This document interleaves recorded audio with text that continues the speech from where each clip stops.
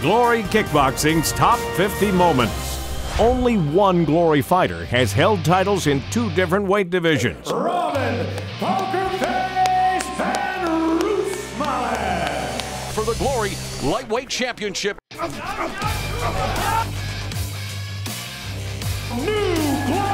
Lightweight Champion of the World. He made two successful defenses before losing in controversial fashion to his nemesis, Sitthichai. In just four months, Van Roosmalen would drop down a division and explode into a new weight class, claiming the featherweight title. This success was short lived as he failed to make weight in his first defense and was stripped of the belt, but came right back to win the belt again and defend successfully.